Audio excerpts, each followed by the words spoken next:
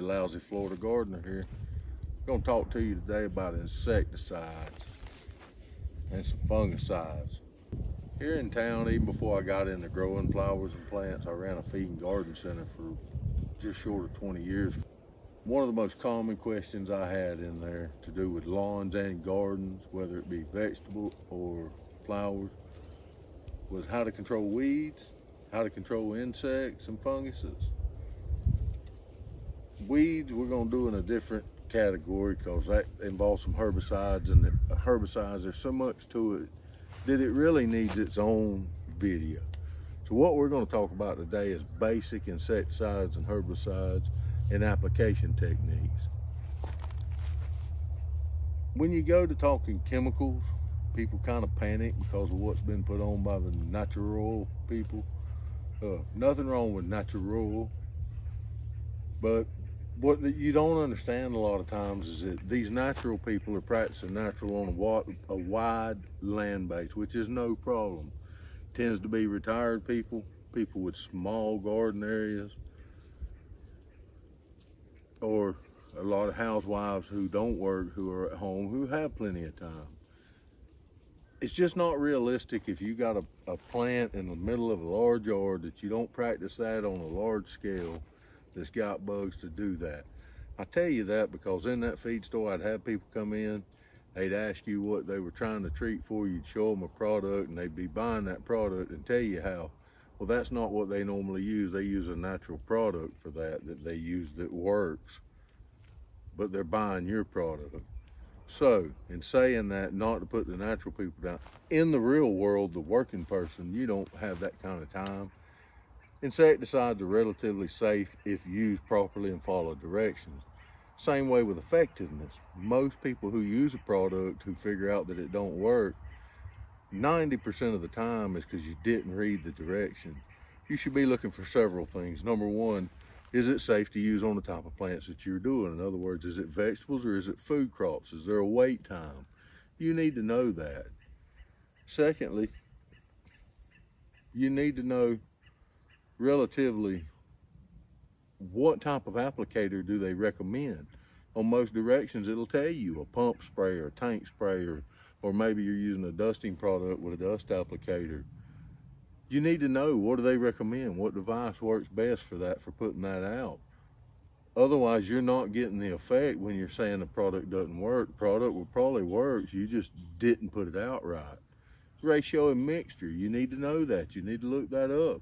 You need to read that on it. You don't need to overkill it. You don't need to underkill it. You need to make sure you get the right amount of product.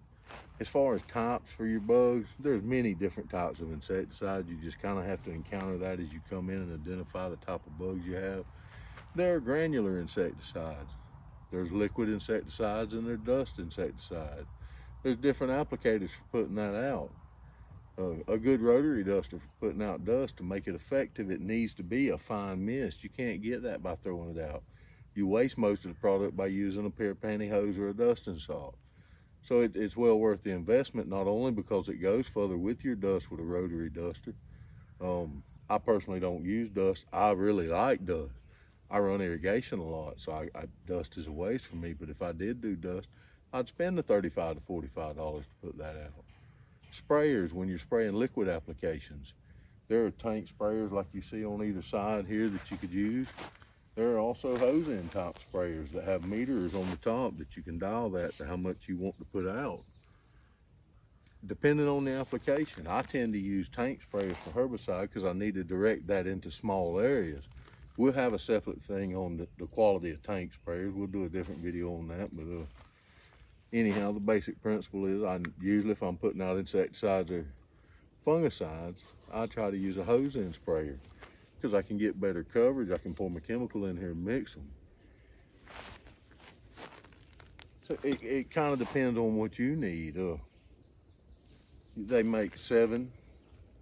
they make copper fungicide, they make a high yield. Don't get caught up in them name brands. What you need to be focused on is down here on the bottom this part right here, the active ingredient. It's what's inside that matters and the percentages of that. There may be a reason why you can buy one brand cheaper than the other. It may not be the same strength. So when you do your research and you look for a chemical to buy, don't go up there with your wallet sealed up. You got time in these plants. Buy a good product. Buy something that'll work. Have a little knowledge when you walk in.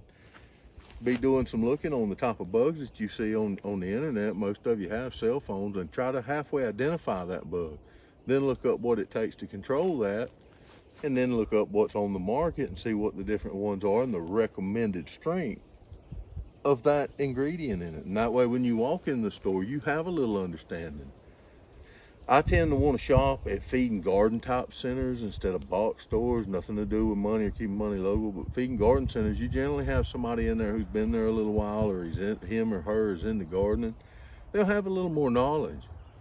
When you walk into a store and you need to look at insecticides and stuff like that, you, you want to talk to somebody at least has a knowledge of the insecticides. Maybe not the way they work, but when you walk in there and you've done looked it up and your product says you need permethrin or cypermethrin, you want to know when you walk in there that this guy's got some knowledge of what cypermethrin is. The rest is up to you. I mean, most of these, a lot of these people working, especially in big box stores, he don't know what that stuff is so as far as strength and different wise. He might know what the chemical is because he's put it on the shelves. If you're lucky and get somebody that wants to help you it's up to you to know what strengths you're looking for and what you and what you need and to read them directions on the back. Fungicides are the same way. You get into a lot of fungicides and there's multiple fungicides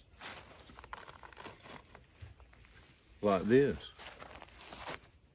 You'll take this copper fungicide, it does certain things like this list on the front for roses, listed fruits, and listed vegetables. It tells you how to use it for each individual thing on the back and some precautionaries, the do's and don'ts. You need to know that. What type of application tool to put it out with? Do you want to run it until it's dripping or until it's not? Is there a temperature control? All of these factor into how this product works. So that, that's what you need to be paying attention to or nothing you use is going to work. I've seen that all the time with a lot of people when I ran that feed and garden center. And when you would get some of them that would listen and go back home and try it like you told them and invest the money in the applicator, most of them come back and told you it worked. The honest ones. Uh, you could tell them real quick because it was usually the same ones coming back wanting a refund that didn't. But anyhow, on top of the copper fungicide, they have many different ones. The product I use a lot of, I don't have any of right now, but is a, a triple action type spray. It doesn't matter about name brand, it's what's in it. Most of them have a pyrethrin, which is an insecticide, and then they have a, a fungicide that's in them. A lot of them use neem oil, dormant oil, stuff like that. And then it has another chemical, I can't remember what it is, and it, it varies from manufacturer to manufacturer, but it's a miticide. So in one spray, you're getting an insecticide, miticide, and fungicide. Now you have to understand that when you're buying something like that, you're gonna pay more money than you would for a straight insecticide, fungicide, or miticide because they're trying to hit a balance to hit a multiple of stuff where instead of buying something that does just each individual thing. So you're gonna pay a little more money because of that. But in the same respect, you got one product that'll do multiple things. If you try that and say you have some, some black leaf mold on one of your camellias or something like that, and it doesn't work, it didn't, doesn't mean that it was a junk product. It just means that it wasn't for that type of mold or maybe it wasn't a strong enough concentration. Maybe you need to try to get a straight top fungicide. So all that matters in that. And then you have what we call granular insecticide. Now, as a general rule in the garden, there are a couple different ways you need to be looking at this in your garden. The first way is to determine whether you're using this on food products or ornamental products. If you're using a granular, same as with a liquid, on food products, you need to read on the back of that bag and you need to make sure that that bag is approved with the chemical that's in that bag. You read the chemicals just like you do, like I showed you on the liquid, your active ingredient and your percentages. You want to make sure if you're using that on vegetable gardens, that it that, that it lists vegetables on it, that it's okay. Some stuff does, but it's a certain amount of time after you put it out before you're allowed to eat the vegetables. So you need to know that when you're buying that. Are you using it on flowers and in your lawn and on ornamentals? If you're using it on that, then that's a whole different ball game. The biggest thing is to make sure that you buy enough product. That's where so many people with a granular fail. They walk in there and they're trying to get it cheap, money's tight, whatever the reason. They don't get enough product. They put it out and it fails. Let's take, for example, let me just show you a figure. We'll figure on this bag what it recommends to a thousand square feet. And we'll break that down into a one acre piece of property and see if it hits what you think. What do you think it'll take to do that with? How many bags of that do you think? That's an 11 and a half pound bag. How many bags of that? So let's get over here where we can see what we're talking about. Let's just say we're gonna treat for army worms. Now this tells us that in that we need 50 pounds per acre. That means you would need just shy of five bags to do it for army worms. But now let's drop down right here.